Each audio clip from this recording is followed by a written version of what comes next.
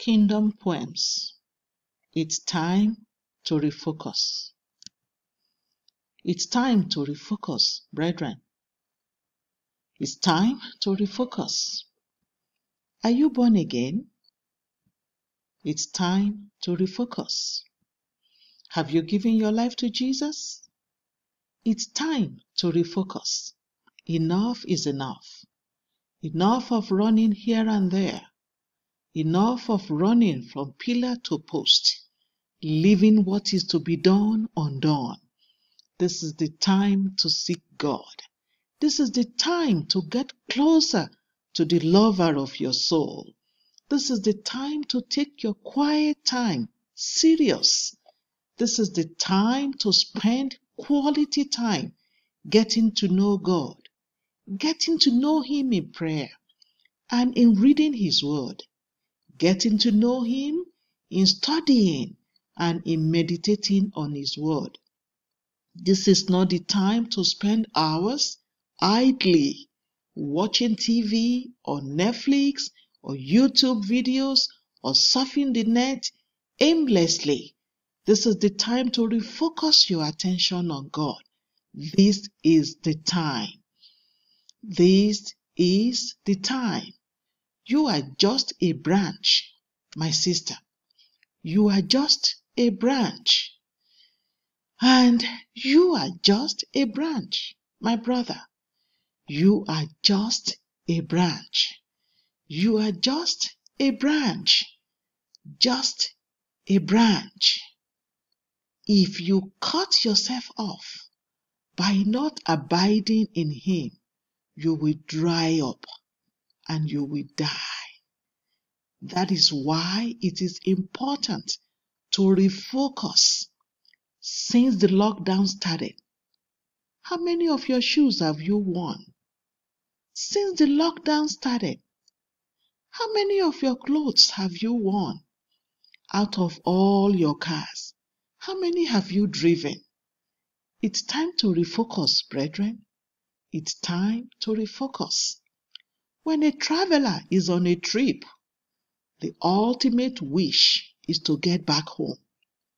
No traveler forgets his or her home, even though the trip may be awesome.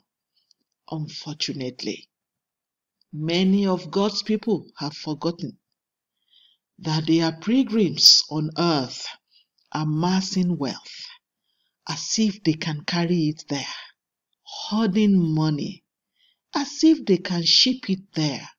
It's almost time to go back home, brethren. Sorry, you can't take anything there. It's time to refocus, brethren. It's time to refocus.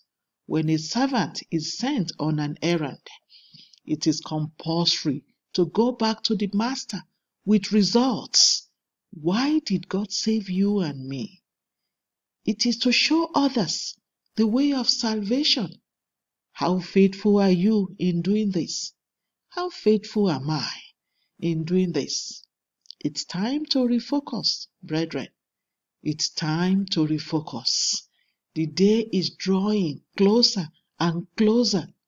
The dreaded day when the trumpet will sound, when the rapture will take place, when the Son of Man will come for his saints, when those who are prepared will fly to meet him in the sky.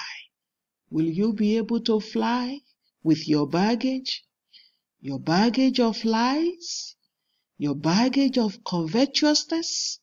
Your baggage of backbiting? Your garbage of gossip? Your baggage of witchcraft and others? Will you be able to go with Him? It's time to refocus, brethren. It's time to refocus.